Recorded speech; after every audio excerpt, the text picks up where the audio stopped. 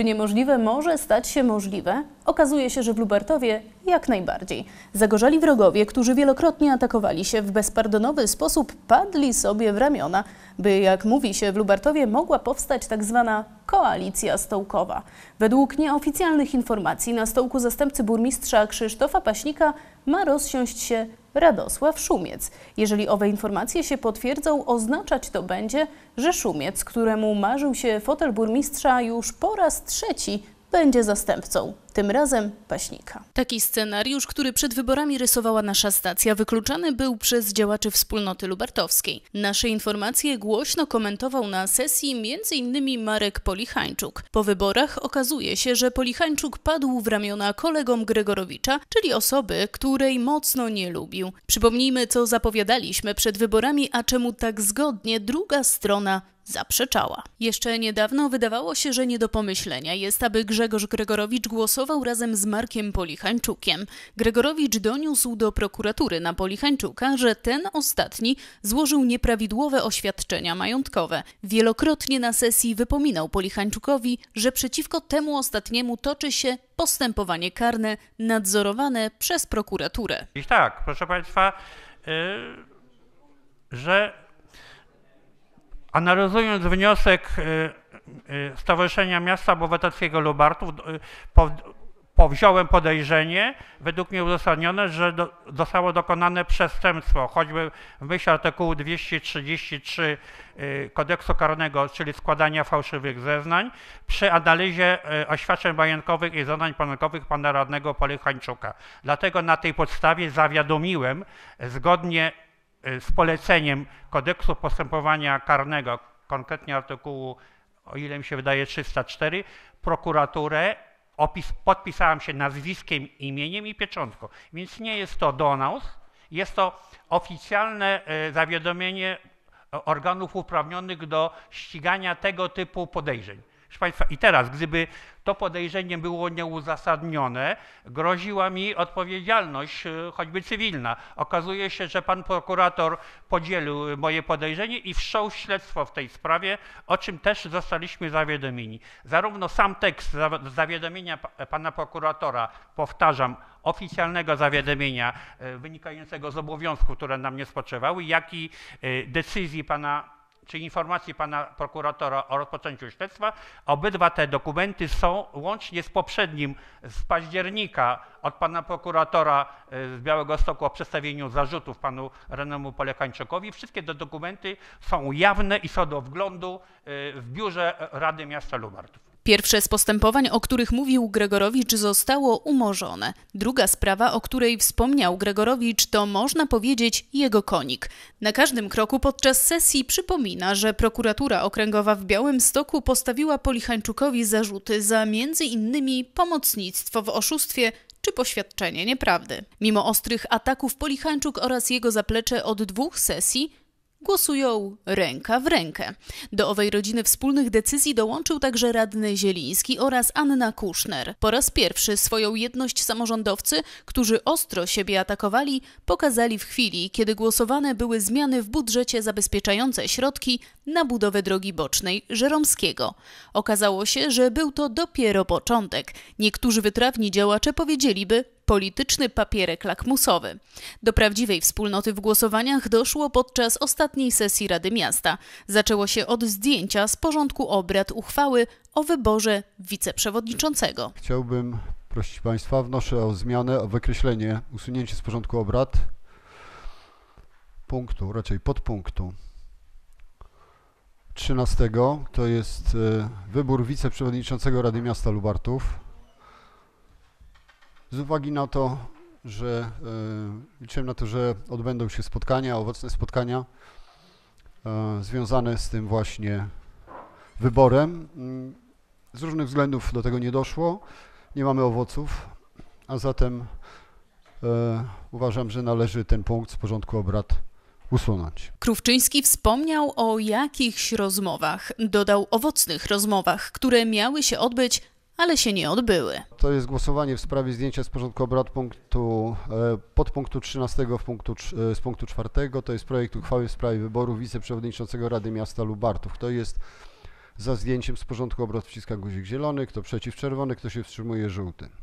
Za wnioskiem Krówczyńskiego zgodnie zagłosowali Jacek Bednarski, Robert Błaszczak, Teodor Czubacki, Grzegorz Jaworski, Tomasz Krówczyński, Przemysław Kural, Anna Kuszner, Artur Kuśmierzak, Renata Mazur i Marek Polichańczuk. Jak zatem widać, ręka w rękę zagłosowali radni z zaplecza Paśnika i ci z zaplecza Szumca oraz dwoje radnych z Platformy Obywatelskiej. W sumie 11 osób, czyli niezbędne minimum, aby zdjąć punkt z porządku obrad. Przeciwko zagłosowali Ewa Grabek, Maria Kozak, Piotr Kusyk, Elżbieta Mizio, Beata Pasikowska, Wiesława Romańska-Serwin, Jacek Tomasiak oraz Zdzisław Wereszczyński. Okazało się, że było to preludium przed tym, co wydarzy się podczas głosowania uchwał dotyczących zmian w planie zagospodarowania przestrzennego. Zanim jednak o tym, co wydarzyło się na ostatniej sesji, przypomnijmy tylko dwa głosy z sesji październikowej, która odbyła się przy licznej reprezentacji mieszkańców sprzeciwiających się budowie zakładu pastwy. Nagle pojawił się taki przedsiębiorca, który chce to zlokalizować w Małym Lubartowie, w Małym Lubartowie i tego plan planiści, a także radni nie przewidywali. Chcemy to uporządkować. Chcemy dokonywać zmian. Po to jest Rada, żeby być elastyczną i reagować na zmienną sytuację gospodarczą, ekonomiczną w Polsce. I teraz wracając do, do tej sytuacji. Otóż proszę Państwa, jeżeli mówimy o, e, o prawie, to zwracam Państwu uwagę tylko to, ja się absolutnie zgadzam z konkluzją Pana Radcy Prawnego. Dlaczego? Dlatego, że on przytoczył artykuł 19. Ja przypomnę tylko Państwu, jeżeli Rada Gminy stwierdzi konieczność dokonania, to jest ustęp pierwszy, przedstawionym do uchwalenia planu miejscowego, w tym także wyników uwzględnienia uwag do projektu czynności, yy, zgodnie z artykułem 17 ponawia się te czynności w zakresie niezbędnym do dokonania tych zmian. I ustęp drugi, przedmiotem ponawianych czynności może być jedynie część projektu planu objętego zmianą. I on dokładnie to przytoczył. Dlatego nie ma tutaj co polemizować. Zgadzamy się z tym, że zmiany, które proponują wnioskodawcy, dotyczą tylko części planu, a nie całości. I wszystko to, co było procedowane wcześniej w związku z, z pozostałymi częściami tego planu, nikt tego nie kwestionuje. I nikt nie kwestionuje tych 120 wniosków, które mieszkańcy złożyli, które zaakceptowaliśmy z wyjątkiem jednego załącznika. Załącznika, który też nie został odrzucony, tylko no, wnioskujemy o zmianę tego załącznika, żeby droga nie była ślepa, no, mówiąc inaczej, czy ulica, żeby dokonać takich zmian, żeby była w miarę drożna, przynajmniej dla pieszych i rowerzystów. Y, nie mogliśmy inaczej dokonać tych zmian, tylko w takim kształcie, jakim to zrobiliśmy teraz. No mówię jeszcze raz, na podstawie opinii y, wniosków mieszkańców i opinii wniosków y, samych radnych. Jeszcze raz powtórzę, w tej zmianie nikt nie proponuje zmian poza tym jednym zapisem. Wszystkie inne, e, również wynikające z przeprowadzonej e, procedury, są uwzględniane. I teraz wracając na końcu do zakładu e, pana pastwy, którego nikt też nie przewidywał. Proszę Państwa, jeżeli słyszymy z ust pana, pana naczelnika, że Zakład y, pana pastwy, ja będę celowo używał, nie jakiejś tam nazwy, bo dokładnie tej nazwy nie znamy, e, budowa tego zakładu jest już przesądzona, że ma pozwolenie na budowę prawomocną i może w każdej chwili się budować, to proszę bardzo, niech się buduje. Tylko zwracam Państwu uwagę na to, że zgodnie z artykułem 34 tej ustawy, przypomnę Państwu, przepraszam, bo muszę ściągawkę, jeżeli w wyniku zmiany ustawy zachodzi konieczność zmiany w planie miejscowym czynności i tak dalej wcześniejsze e, wykonuje się odpowiednio w zakresie niezbędnym do dokonania tych zmian. Jeżeli artykuł 34, jeżeli wejście w życie planu miejscowego powoduje utratę mocy obowiązującej innych planów zagospodarowania przestrzennego, czyli wcześniejszego, na podstawie którego to miejscowego planu czy zapisów pan Paswa uzyskał pozwolenie na budowę zgodnie z procedurą, to e, utrata e, mocy obowiązującej powoduje, że pan państwa będzie mógł się ubiegać albo o odszkodowanie, albo o wykup gruntu czy nieruchomości tej wykupionej od, z budżetu miasta. I teraz, proszę Państwa, moja konkluzja. Jeśli tak jest i ta zmiana, którą proponujemy, spowoduje, że pan państwa nie będzie mógł się budować, czyli nie zakończy tej inwestycji, bo rozpoczął niby, rozumiem, to będzie mógł żądać odszkodowania. Ale o tym, czy dostanie, czy nie i w jakiej wysokości zadecyduje sąd. A nie pan burmistrz, nie my, tak dalej. I teraz ja sobie wyobrażam, że jeżeli tego zakładu jeszcze nie widać, jeszcze nie widać, to ja z pełną odpowiedzialnością jako radny i, i tutaj gwarantuję Państwu, będę głosował za taką sytuacją, że wolałbym jako radny z budżetu miasta przeznaczyć odszkodowanie dla pana pastwy, żeby ten zakład nie powstał, niż żeby powstał, a skutki jego powstaniu, powstania będą i mieszkańcy, i Rada Miasta, i wszystkie pokolenia odczuwać przez lata.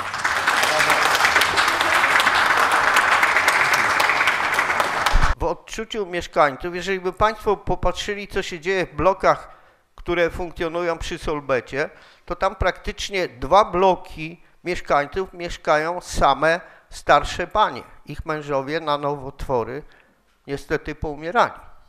My sobie nie zdajemy sprawy, jakie substancje przy produkcji styropianu, gdzie nie ma żadnych filtrów, może przesadziłem żadnych, proszę Państwa, e, to wszystko trafia do powietrza na bardzo niskiej wysokości i nie jest bez wpływu na organizmy ludzkie.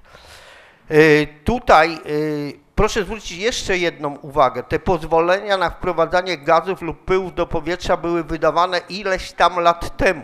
Te zakłady wielokrotnie zwiększyły produkcję, w związku z tym emisja tych substancji do powietrza jest teraz na dużo wyższym poziomie. E, Prawdopodobnie, no nie wiem, ja to też ustalę, bo pójdę do, e, do starostwa i, i, i będę te informacje zbierał, bo ta firma też musiała wystąpić o pozwolenie na wprowadzanie gazów lub pyłów do powietrza, ale e, mówię, obecnie funkcjonujące prawo pozwala czy do, dopuszcza do sytuacji, że takie zakłady są kontrolowane dwa razy w ciągu roku, czy spełniają te normy, które określono w pozwoleniach.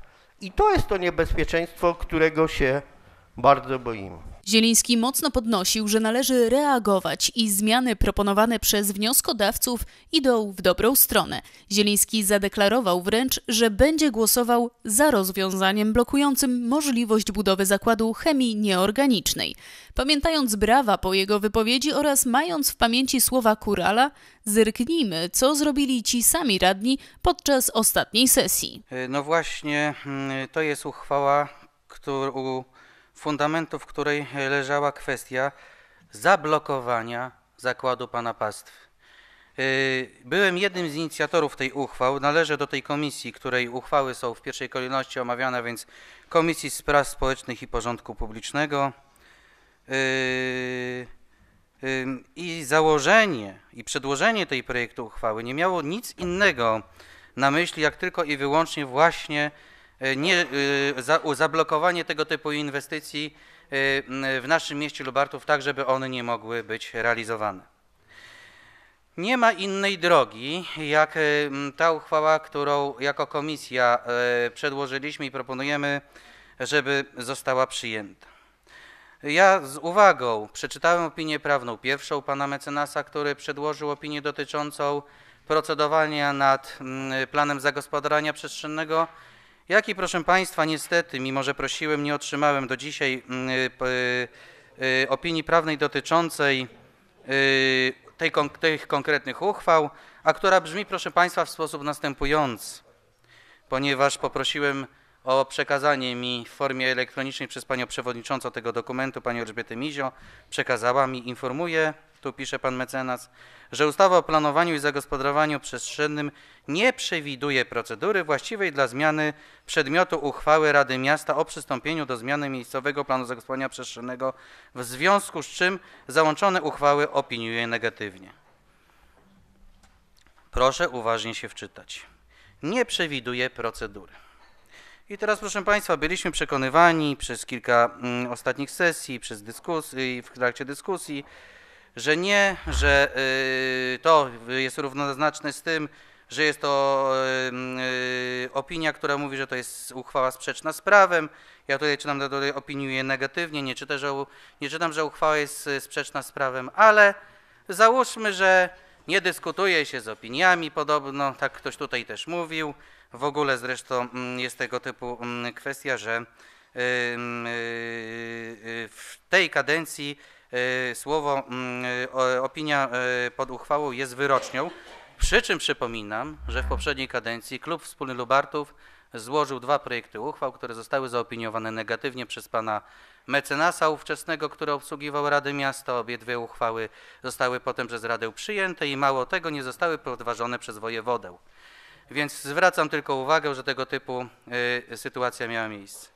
I teraz, proszę Państwa, y, y, podstawowa rzecz. Mamy dwa projekty uchwał, aby je przegłosować. I ja proszę, żeby one zostały y, przegłosowane, ponieważ otworzy nam to drogę do tego, żebyśmy, proszę Państwa, mogli y, y, ro- w trybie, tak jak było mówione, sześciomiesięcznym, dokonać zmian w uchwale matce, czyli tej uchwale, która jest zmieniana. Słyszeliśmy wszyscy o tym trybie, który miał być szybki. Później toczyły się różnego rodzaju spory, przekonywano nas, że nie mamy racji. Ja powiem tylko tyle. Samym radnym pozostawiam, bo ja mieszkańcom obiecałem pewną rzecz. Tego głosu, tej, tej obietnicy dotrzymam, tą uchwałę poprę. I powiem tylko w ten sposób. Tym, którzy mówią, że jest to niemożliwe, tego typu procedowanie nad tego typu dwoma projektami uchwał, dwoma, bo to jest, teraz mówimy o zmianach w planie, a za chwilę będziemy mówili o, y, o zmianie w części tekstowej. Polecam uchwałę gminy Brańsk i polecam uchwałę, uj, polecam uchwałę, proszę Państwa, y, miasta Szczecin, zapoznać się z tymi uchwałami, czy tam były zmieniane załączniki, czy były poszerzane, podkreślam, poszerzane, a nie zmniejszane e, granice obszaru, który miał być poddany ponownie uchwałom.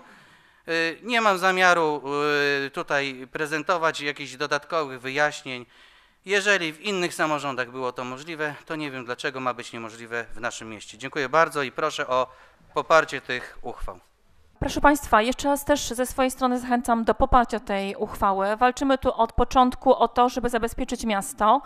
E, I, nie, I proszę nas nie straszyć tym dwuletnim okresem, bo Państwo cały czas zmieniają okres, ile to może potrwać. Tak naprawdę, gdybyśmy chcieli, byśmy się już zabrali za poprawę tego. E, I naprawdę, patrząc, co dzieje się w wielu miastach w Polsce, przed, przed chwilą była sytuacja we Włoszczowej. Ja do końca nie wiem, ja, jak, jaki był stan prawny, ale w tej chwili Włoszczowa wywalczyła sobie to, że nie powstaje tam zakład utylizacji e, jakiś, nie wiem, to, to chodziło też o jakieś e, padlinę czy, czy, czy, czy pod, podobnego typu zakład. I oni wywalczyli sobie to, że, że taka decyzja została cofnięta. I proszę Państwa, nie wierzę, że to jest dwa lata. Walczymy o to, żeby miasto było wolne od chemii przemysłowej i naprawdę nie mam zaufania do pana burmistrza, skąd ten e, przedsiębiorca się tutaj wziął i dlaczego ma aż takie poparcie, e, żeby naprawdę udało mu się wszystko, e, co sobie tutaj zaplanował. Jest wielu innych przedsiębiorców, którzy mogą naprawdę wnieść dużo więcej. Bardzo państwa zachęcam, nawet kosztem tego, że ta procedura wróci do jakiegoś miejsca początkowego, uważam, że warto zrobić to, żebyśmy się zabezpieczyli. Ideą, ideą tej ustawy jest to, żebyśmy doprecyzowali, nie na zasadzie tego, co mamy teraz, to co mówiliśmy, że zdanie, które mamy w tej chwili, sprawia, że możemy e, dyskutować o pierwiastkach chemicznych przy każdym kolejnym przedsiębiorcy. E, Więc bardzo Państwa proszę o poparcie tej ustawy i o to, żebyśmy zabezpieczyli się przed kolejnymi takimi przedsiębiorcami, z którymi mamy teraz do czynienia. Dziękuję bardzo. Ja apeluję jeszcze raz i ja dziękuję w tym momencie, choć dziwnie to trochę brzmi z mojej strony, dziękuję panu burmistrzowi, że doszło do spotkania, bo jak wiecie na poprzedniej sesji ja prosiłem zgodnie złożoną, ze złożoną obietnicą pana burmistrza o rozpoczęcie y, czy inicjatywę rozpoczęcia rozmów na temat tego y, planu ogólnego. Do takiego spotkania doszło. Osobiście brałem w nim udział. Wiem, że byli zaproszeni wszyscy, wszyscy przedstawiciele, wszyscy przewodniczący klubów. E, No nie wszyscy byli z różnych powodów, bo komuś tam nie pasowało, ale, ale generalnie porozmawialiśmy o, o tym, że należy jak najszybciej rozpocząć pracę i rozmowy na temat kierunku rozwoju przestrzennego miasta. A do tego najlepszą drogą jest spotkanie i rozmów. Do tego Państwa e, zachęcam, żebyśmy jak najszybciej przystąpili do pracy nad e, projektem planu ogól, e, nad, nad planem ogólnym, który zapewni nam po pierwsze zabezpieczenie przed tego typu zakładami, po drugie sprawi, że Lubartów będzie się rozwijał przestrzennie w kierunku, w którym chcemy. Przed chwilą tutaj pan naczelnik wyszedł i stwierdził, że mm, y, cała procedura rozpocznie się od początku. Proszę Państwa, ja może powiem w ten sposób. Y, Można obśmiewać jakieś małe gminy, że przegłosowały podobne poprawki, ale proszę Państwa, najważniejsze jest to, że wojewoda im tego nie uchylił, że załączyli nowe plany graficzne. I trzeba teraz sprawdzić, czy w tych gminach jest tak, jak mówił pan naczelnik, że się wywraca do góry nogami całą procedurę i trzeba rozpocząć od początku, czy w tych gminach jest tak, jak przytoczono nam w opinii prawnej, która została nam przesłana przez ratusz. A w tej opinii prawnej, która została nam przez ratusz przygotowana przez, przez e, prawnika, który jest za, za, zatrudniony w ratuszu, czytamy. Konkluzja. Jeśli Rada Gminy stwierdzi konieczność dokonania zmian w przedstawionym do uchwalenia projekcie planu miejscowego, a rozmawialiśmy cały czas o uchwałach tych, y, które my proponowaliśmy. Czynności procedury planistycznej, o których mowa w artykule 17 ponawia się, uwaga, w zakresie niezbędnym do dokonania tych zmian, przy czym przedmiotem ponowionych czynności może być jedynie część projektu planu objęta zmianą. I teraz y, należy zobaczyć, jak to zrobili inni, czy oni faktycznie wywrócili wszystko do góry nogami, czy się okazało, że było w tym wąskim zakresie realizowane ponowne y, konsultacje, bo faktycznie one muszą się odbyć. Przez wiele miesięcy byliśmy przekony- przekonywani, że to będzie tylko w tym wąskim zakresie. Później się to zmieniło, dzisiaj słyszymy, że wszystko do góry nogami zostanie wywrócone. Ja, proszę Państwa, proponuję taką rzecz zrobić. W innych gminach się to udało? No to się udało. Jeżeli ta uchwała faktycznie będzie niezgodna z przepisami, to wojewoda na pewno ją uchyli. I to uchyli o w przeciągu najbliższych dwóch tygodni te dwie uchwały, które za chwilę będziemy głosowali i będziemy mieli czarno na białym, że jest niezgodna lub jeżeli wojewoda postąpi, tak jak wojewoda e, w zachodniopomorskim na przykład i ona pójdzie do dalszego procedowania, to będziemy wiedzieli, że możemy w trybie szybkim dokonać tych zmian. Natomiast proszę Państwa, z całym szacunkiem do radnego Polichańczuka, ja rozumiem, że rozmawiacie o tej uchwale i przedłożyliście na tym spotkaniu, na którym y, wybrani byli zaproszeni, aby rozmawiać o y, przyszłym planie ogólnym y, gminy, to ja zachęcam jeszcze do jednej rzeczy, bo ja, mi zależy na tym, żebyśmy ten obszar PS, ten obszar, który jest tym obszarem y, spornym, który pozwala, proszę Państwa, żeby tutaj, proszę Państwa, obok nas, przy torach między innymi, pobudować tego typu same zakłady, jak zakład pana Pastwy. Pamiętajmy o tym, że to nie tylko tam daleko na Krańcowej, to jest problem tylko paru mieszkańców z Krańcowej. Ja mieszkam daleko, to mnie nie dotyczy. Zresztą jak chcą, tak jak tu powiedział jeden radny, to zawsze się mogą stamtąd wyprowadzić. Natomiast proszę Państwa, to dotyczy nas wszystkich. My zerknijmy na plan zagospodarowania przestrzennego cały zachodni Lubartów od y, granicy y, y, od strony Lublina, tutaj do końca miasta Lubartowa jest zaznaczony na fioletowo. I to jest właśnie ten obszar fioletowy, ten PS, gdzie tego typu zakłady jak pana pastwy mogą powstać. Zgadzam się z radnym Polichańczukiem co do jednej rzeczy, że należy usiąść, dokładnie się temu przyjrzeć. Tylko proszę państwa, rozporządzenie ministra rozwoju i technologii, jeżeli dokładnie się w nie wczytamy, proszę się w nie wczytać. Podaje się z jednej strony daty dosyć odległe uchwalenia tego nowego dokumentu, czyli projektu planu ogólnego gminy, ale proszę zwrócić uwagę, jak jest rozbudowana kwestia konsultacji społecznych. My będziemy to uchwalali kilka lat. Kilka lat. To będzie, proszę Państwa, y, obszerna debata, tym bardziej, że po to zmieniono te przepisy. Po to wprowadzono tą nową ustawę, przepraszam, znowelizowano starą. I po to wprowadzono to nowe przepisy, że proszę Państwa, ci, którzy yy, nowe- nowelizowali tę ustawę, zwrócili na jedną rzecz uwagę, że właśnie wprowadza się tego typu zmiany, gdzie mieszkańcy nie są w określonych rejonach poinformowani, tak jak chociażby mieszkańcy miasta Lubartowa nie znali szczegółów, proszę Państwa, tych zapisów, które się mieszczą w tym zakresie. Dlatego przy tym nowym dokumencie wszystkie proponowane y, nowe zmiany, nowe propozycje, będzie to wszystko mocno szczegółowo konsultowane. Mało tego, z tego co Pamiętam, czytałem w jednym w komentarzu, będzie do tego tak, tak daleko to posunięte, że to już nie będzie ogłoszenie na tablicy, tylko będą faktycznie rozsyłane zawiadomienia do najbardziej zainteresowanych, nawet do skrzynek pocztowych. Tak i z jednym, w jednym z komentarzy to brzmiało. Ale proszę Państwa, na, dzisiaj, na dzień dzisiejszy jesteśmy troszkę w innym miejscu.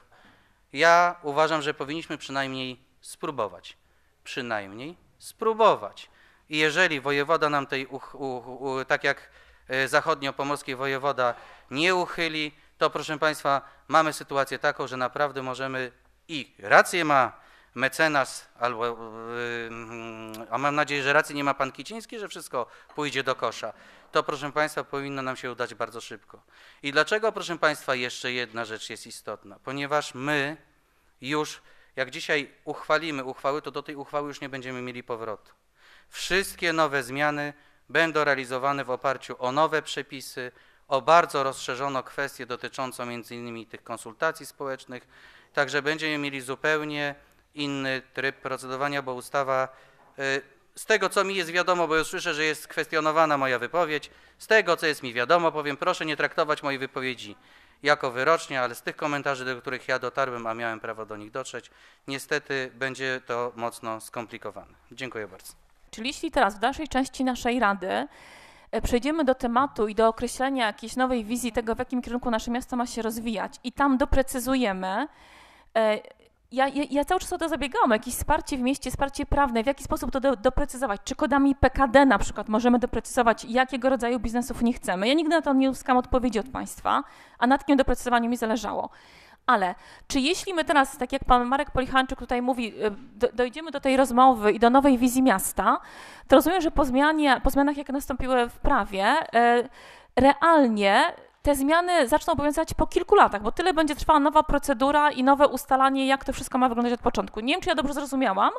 Czy jeśli teraz zgodzimy się na zmiany, oczywiście ja się nie zgodzę i podtrzymuję swoje stanowisko, to ta nowa wizja miasta będzie ustalana w konsultacjach i to będzie trwało kolejnych ileś lat. Czyli przez kolejne lata nie mamy żadnego zabezpieczenia realnego, żeby podobne zakłady nie, po, nie pojawiały się na działkach prywatnych. Proszę.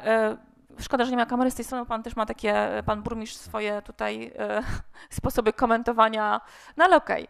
Okay. To jest jedna rzecz. E, druga rzecz, e, tyle, tyle kontrowersji, tyle po prostu e, debaty tutaj i nagle słyszymy, że okej, okay, pojawiła się jakaś nowa propozycja i mogliśmy wyrazić swoje zdanie, mogły być jakieś konsultacje i to się pojawiło na BIP-ie, pojawiło się na tablicy w Urzędzie Miasta i pojawiło się w gazecie. Proszę doprecyzować, w jakiej gazecie, ale mam pytanie, czy pan burmistrz albo ktokolwiek z urzędników miasta udostępnił tą informację na swoich profilach? Pan jest aktywnym uczestnikiem Facebooka, informuje pan o wielu wydarzeniach. Czy pan zaprosił mieszkańców i nas jako radnych na konsultacje, o których mówiła pani architekt? Będę wdzięczna za odpowiedź.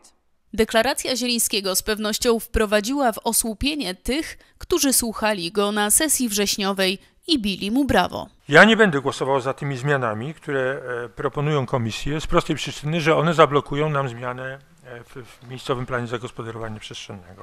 Proszę Państwa, kto jest za zmianą uchwały numer 37 łamane przez 272 łamane przez 221 z dnia 23 grudnia 2021 roku w sprawie przystąpienia do zmiany miejscowego planu zagospodarowania przestrzennego miasta Lubartów inicjatywa uchwałodawcza Komisji Spraw Społecznych i Porządku Publicznego Rady Miasta Lubartów wciska guzik zielony. Kto jest przeciw? Czerwony. Kto się wstrzymuje?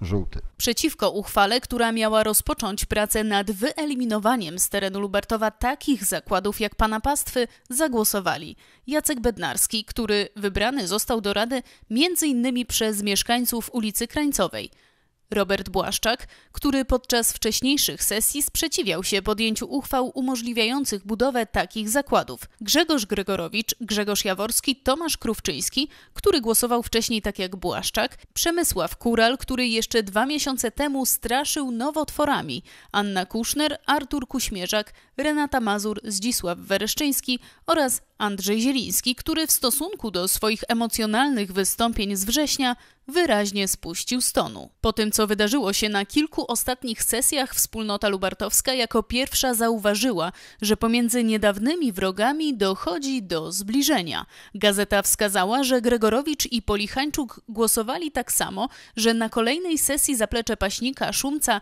i dwie osoby od Zielińskiego utworzyły większość i najpierw zmieniły porządek obrad, a później wyrzuciły do kosza ważne uchwały dotyczące zmian w planie zagospodarowania przestrzennego. Podsumowaniem tego, co się działo w mieście, jest wypowiedź Paśnika do wspólnoty. Marcin Kusyk, redaktor wspólnoty, zadał mu następujące pytanie. Nie będzie pan poszukiwał nowego koalicjanta w KO we wspólnocie lubartowskiej? Ta kadencja pokazała, że różne scenariusze są możliwe. Z rozbrajającą szczerością odpowiedział Paśnik. Uchwały, dzięki którym istniała realna możliwość uniemożliwienia budowy zakładów takich jak pastwy, przepadła. Przepadła głosami tych, którzy jeszcze niedawno sami grzmieli, że należy pilnie dokonać zmian i zablokować budowę zakładów zagrażających życiu. Podczas ostatniej sesji większością zaplecza Paśnika, klubu Polichańczuka i dwóch osób z klubu Zielińskiego przegłosowano zgodnie przeciw wspomnianym dokumentom. Co istotne, ci, którzy jeszcze niedawno wspierali Paśnika, czyli PiS, zagłosowali tak, jak obiecali mieszkańcom, czyli za uchwałami. Jak widać na naszych oczach, tworzy się coś nowego. Coś, co coraz bardziej przypomina nieformalne porozumienie, a nawet koalicję, bo współpracy ze wspólnotą lubartowską oraz koalicją obywatelską nie wyklucza Paśnik. Po materiale, który wyemitowaliśmy w grudniu na kolejnych sesjach, działacze wspólnoty i koalicji zaprzeczali, że to nieprawda, że wspierają Paśnika. Do wyborów komitety szły jako konkurenci, żeby nie powiedzieć wrogowie.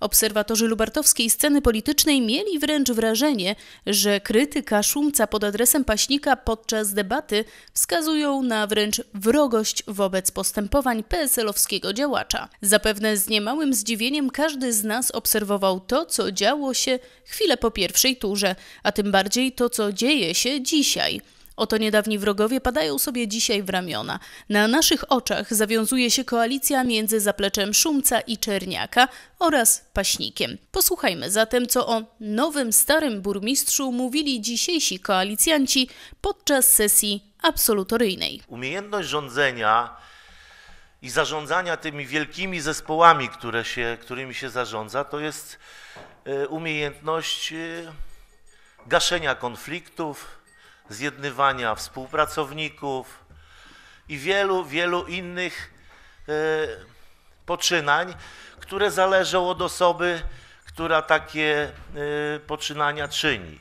I w zależności od tego, jak to robi, to niestety zdobywa uznanie, zdobywa większość, zdobywa zaufanie, a jeżeli tak nie robi, no po prostu to ma samych przeciwników. I jakby ich nie nazwał, e, nie nazwała ta osoba, to też mają prawo do takiego e, wypowiadania swoich opinii na temat jak, jakiegokolwiek raportu. No niestety, e, umiejętność rządzenia, umiejętność współpracy to jest ta, ta cecha, która dałaby panu burmistrzowi i rządowi technokratycznemu być może wotum zaufania ponieważ tego nie ma od wielu lat, a wręcz jest zupełnie odwrotna sytuacja.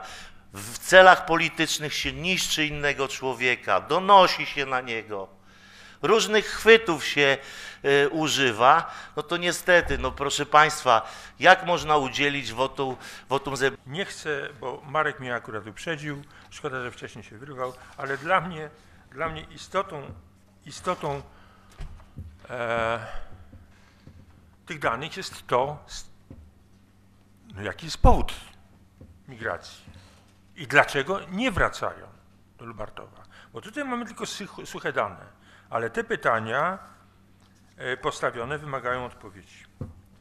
Kolejna sprawa, to już może tę demografię zostawię. Proszę Państwa, jeśli ja, będąc dyrektorem firmy, złożyłbym sprawozdanie swojego organu prowadzącego w Urzędzie Marszałkowskim i w tym sprawozdaniu, które byłoby publicznie opublikowane, pochwaliłbym się, że na swoim dziedzińcu postawiłem to i to i to by mnie wyśmiano. To my w raporcie o stanie miasta chwalimy się przebudową szaletu miejskiego? No wiecie Państwo, no nawet jeśli wydaliśmy tam 400 tysięcy. No proszę sobie wyobrazić mieszkańca na przykład, nie wiem, Wągrowca, Gdańska czy, czy Szczecina, który sięga z ciekawości do raportu, mówi, no Lubartów się chwali przebudową szaletu miejskiego. No, to nic, że wydaliśmy tam pieniądze. Albo na przykład y, unowocześnieniem parkometrów. No proszę Państwa, to są dane, które nie powinny się w raporcie znaleźć. Od tamtych słów obu panów minęło 10 miesięcy. Wówczas ich kluby głosowały przeciwko absolutorium. Coś się jednak wydarzyło i okazało się, że o krytyce zapomniano, a wrogowie dzisiaj tworzyć będą tak zwaną koalicję stołkową. Szykuje się wyjątkowo ciekawy początek nowej kadencji. Według nieoficjalnych jeszcze informacji Szumiec ma być zastępcą Paśnika. Jeżeli Tomasz Krówczyński będzie przewodniczącym Rady Miasta, a obok niego usiądzie ktoś z byłej Koalicji Obywatelskiej, to wyjątkowo proroczy okaże się nasz materiał z grudnia. Wszak już wówczas wspólnota lubartowska głosowała razem z ludźmi Paśnika i Zielińskiego, a ówczesne zaloty dzisiaj kończą się negocjacjami przedmałżeńskimi. I pytanie tylko jest jedno, czy polityczne małżeństwo scala coś więcej niż sukno, które dzisiaj jest dzielone? Dagmara Kukla, Kanał S.